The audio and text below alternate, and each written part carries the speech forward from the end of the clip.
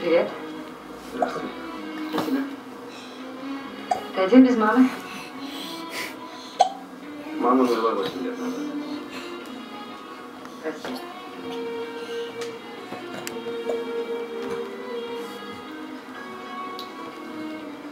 Что ты хочешь? Я хочу.